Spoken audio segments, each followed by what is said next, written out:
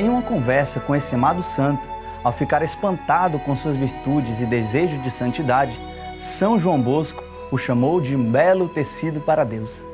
Quem nunca ouviu falar de São Domingos Sávio, que celebramos dia 9 de março, assim que o conhece e é evangelizado por seu intenso amor a Deus e a Nossa Senhora, torna-se imediatamente seu devoto.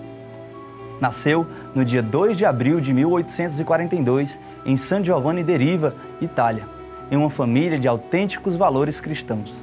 Desde pequeno, seus pais percebiam que aquele menino era bem diferente dos demais pois levava muito a sério a vida de santidade.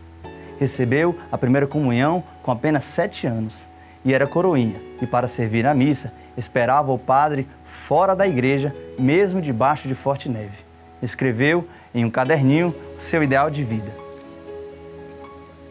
Vou me confessar muito frequentemente. Farei a comunhão sempre que o confessor me permitir. Quero santificar os dias festivos meus amigos serão Jesus e Maria, antes morrer do que pecar. Seu desejo de ser sacerdote o leva a Turim e lá, encontrando o conhecido Oratório de Valdoco, conhece São João Bosco.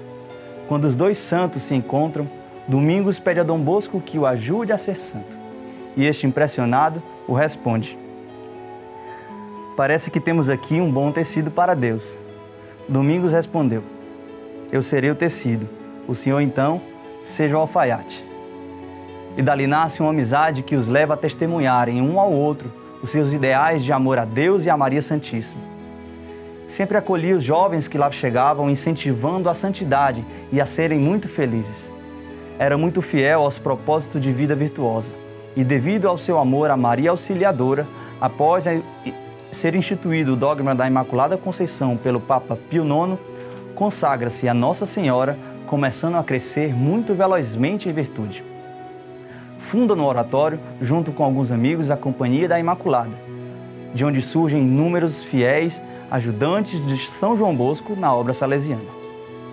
Sempre que era visto, seja na missa, brincando com os amigos ou sozinho em seus momentos de recolhimento com Deus, o achavam parecido com um pequeno santo, um anjo.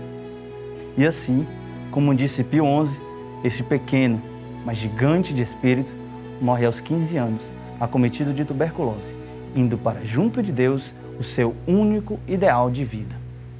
Que São Domingos Sávio seja nosso fiel intercessor e também de nossas crianças, para sermos impulsionados à santidade por seu exemplo de amor aos seus dois grandes baluartes, nosso Senhor Jesus e a Santíssima Mãe de Deus, nossa Senhora Auxiliadora.